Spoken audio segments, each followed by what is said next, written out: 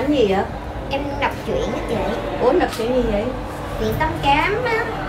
Ủa chuyện tấm cám là chuyện nào? Chị không biết. Ủa chuyện này nổi tiếng lắm mà sao chị không biết vậy? Chị ở bên Mỹ khi đâu có biết đâu. Chị biết không? Hôm nay á em thích nhìn người tắm lắm luôn á. Mùa hiên nè Một con cám thì dữ là dữ luôn. Mà em thích tới nỗi mà em còn hay bị nằm mơ nữa chị. Nằm Chị mơ? có vậy không? Có, chị nằm mơ là chị thường chị thấy chị là công chúa nè Hay là siêu nhân nè. Thì em thấy em là gì? Em thấy hả? Em bình thường là tắm nè. Vậy em nằm mơ, em còn hay cho con cống nó ăn nữa. Chị có muốn giống vậy không? Muốn.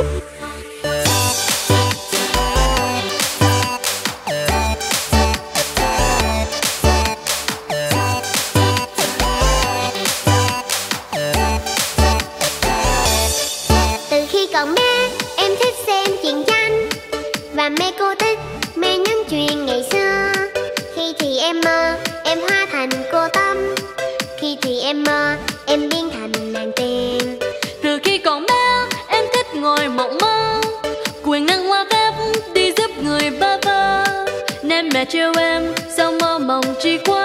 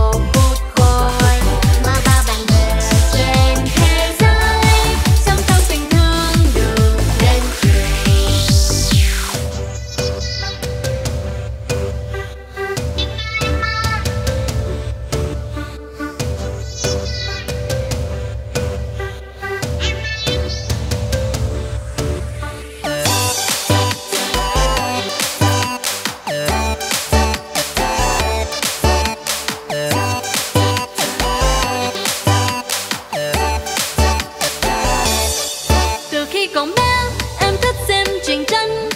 Và mẹ cô thích mê những chuyện ngày xưa. Khi thì em mơ, em hóa thành cô tâm. Khi thì em mơ, em biến thành nàng tiên. Từ khi còn bé, em thích ngồi mộng mơ. Quyền năng hoa phép đi giúp người ba vơ Nên mẹ chiêu em